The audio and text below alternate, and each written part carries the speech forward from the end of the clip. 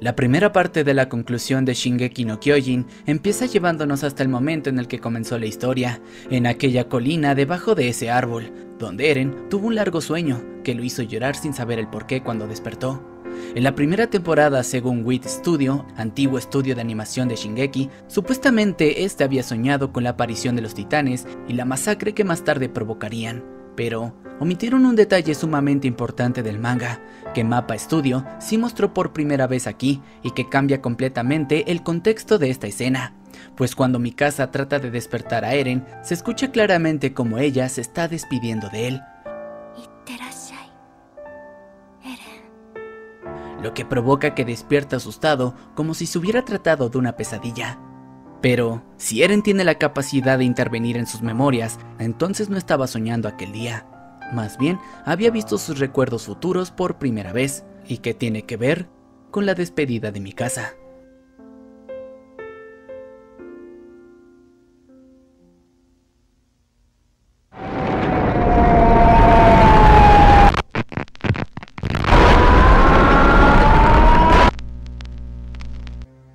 De vuelta en la actualidad, en Marley nos muestra la perspectiva de Ramsey y su hermano Jalil durante la llegada del retumbar.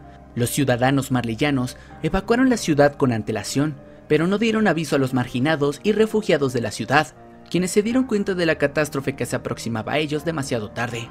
Lamentablemente fueron los primeros civiles en ser alcanzados por la destrucción. Nadie pudo sobrevivir.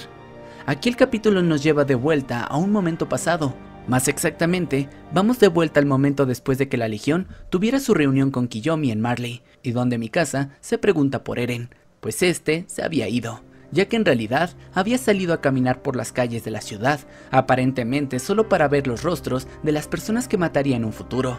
Aquí se encontró de nuevo con Ramsey, un niño que ve morir en sus memorias futuras. Luego de haberlo salvado de ser golpeado por los sujetos, Eren se quebró mental y sentimentalmente, pues la culpabilidad lo superaron, rompiéndose enfrente de él, pidiéndole perdón por lo que va a ocurrir, confesando que todo lo que hace no es solo por salvar a su isla, pues desde que vio que había más allá de las murallas, se decepcionó, porque no encontró ese mundo fantástico y maravilloso que había leído del libro de Armin, así que simplemente deseó con acabarlo todo. Esto fue exactamente todo lo que ocurrió antes de que mi casa lo encontrara más tarde.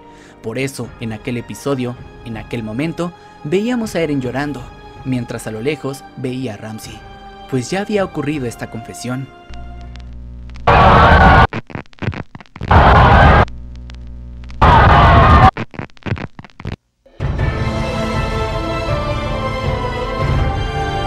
Vuelta en la actualidad, nos muestran la destrucción de los colosales por toda Marley, llegando hasta la ciudad de Liberio, donde se llevó a cabo la pelea contra el titán martillo de guerra, el anime tiene una escena exclusiva que jamás fue mostrada en el manga, ya que aquí vemos qué ocurrió con los abuelos de Eren y Zeke, quienes vemos que se encuentran encerrados en prisión, muy seguramente por culpa de Zeke, ya que fue considerado el traidor de la nación. Sin a dónde poder escapar, fueron aplastados por los colosales. Devastación, desesperanza, desolación. Lo único que queda después del retumbar es una superficie calcinada, con la marca de miles de huellas de titanes, Toda vida natural y terrestre muere al instante. En la otra cara de la realidad, Eren parece disfrutar de las vistas del cielo, donde las nubes lo recubren absolutamente todo, sintiendo esta sensación de ser libre por primera vez en su vida. Sin embargo, esto en realidad es lo que imagina Eren, para poder distraerse y así no ver lo que ocurre a sus pies y a su alrededor.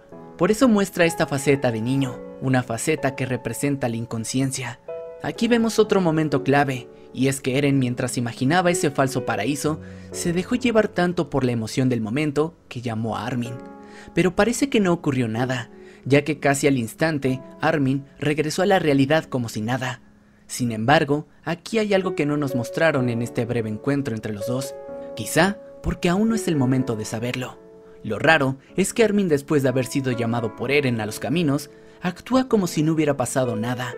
Es como si el tiempo se hubiera detenido y solo hubiera seguido el mismo curso, como si Armin no tuviera memoria de ese momento.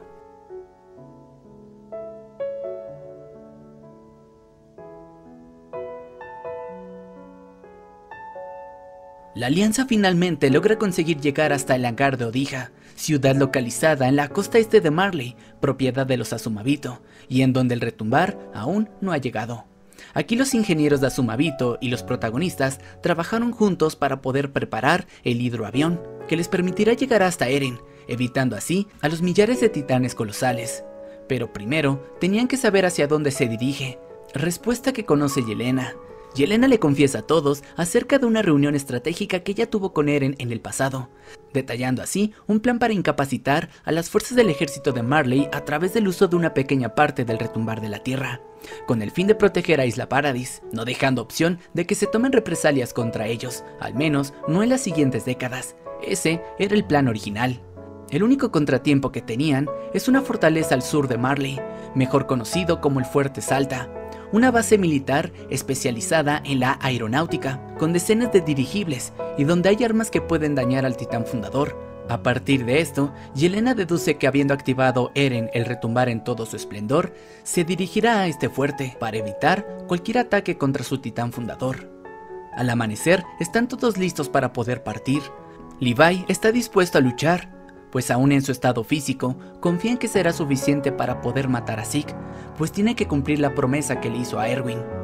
Por el lado de los guerreros, Annie es la única que no va a luchar junto a los demás, ya que no le ve el sentido el salvar a la humanidad, ya que quiere vivir sus últimos momentos de vida en paz. Como despedida, Rainer le pidió perdón por obligarlos a ella y a Bertolt a iniciar la operación de las murallas sin el titán mandíbula de Marcel. De otro modo, podrían haber vuelto con sus familias aquel día. Al final, ambos se abrazan como una muestra de perdón. Annie, Kiyomi, Falco, Gaby, los ingenieros Azumabito y hasta Yelena serían los únicos en marcharse en el barco hacia un lugar fuera del peligro de los colosales. Llegó el momento de cargar el combustible. Al parecer lograrían salir de ahí antes de que llegara el retumbar. Pero... Flock, pese a sus heridas, disparó en múltiples ocasiones, intentando detener a la alianza hasta el último momento pero se encontraba en tan mal estado que no logró herir a nadie de gravedad, aunque logró dañar el depósito del combustible, lo que retrasaría el despegue. Mikasa usó el gancho de su equipo de maniobras, ensartándoselo en el cuello a Flock, lo que provocaría su inminente muerte. Al parecer, había logrado sobrevivir al disparo de Gaby, enganchándose al barco en el que venía la alianza. Flock hasta el último momento luchó por su ideal y lo que creía era lo correcto. Para mala suerte de todos, a lo lejos se escucha un estruendo, pues los titanes colosales habían llegado a Odija. Todos se apresuran para poder despegar cuanto antes y reparar el daño que causó Flock. Armin en un inicio quiso quedarse para frenar a los colosales, y si bien su titán hubiera funcionado perfectamente, es pieza clave y fundamental para poder detener y dialogar con Eren, por lo que no era opción que él se quedara. Lo necesitaban. Reiner y su titán acorazado también llegaron a ser una opción, pero Hanji no iba a permitir que los poderes titán se malgastaran en esta situación, previendo que los poderes titán podrían ser de mucha ayuda más adelante. Por eso tomó la dura decisión de ser ella quien detendría el retumbar, asumiendo la responsabilidad de que por su decisión es que están aquí. Sabiendo que no habría vuelta atrás, Hanji reconoció a Armin como el decimoquinto comandante de la Legión de Reconocimiento. Hasta el final, ella siempre mostró ese carisma tan singular, pues muy al fondo era lo que quería. Quería morir como toda una heroína, y sabía que este era su momento. Levi lo supo y la reconoció, diciendo esa frase por primera vez en su vida, pues era la única amiga que le quedaba. Hanji, la decimocuarto comandante de la Legión de Reconocimiento, luchó contra los titanes colosales, derribando a una gran cantidad de ellos, hasta que ya no pudo más, siendo incinerada por el calor corporal tan intenso que algunos de los titanes colosales desprenden de sus cuerpos. Su muerte fue un duro golpe para la alianza, pero gracias a su sacrificio heroico, los demás lograron escapar. Tras esto, vemos a Hanji sana y salva, sin embargo ya no está en el mismo mundo, sino que se encuentra con Erwin y el resto de sus camaradas caídos, quienes le dicen que la nave ha logrado despegar y la felicitan por cumplir con su deber.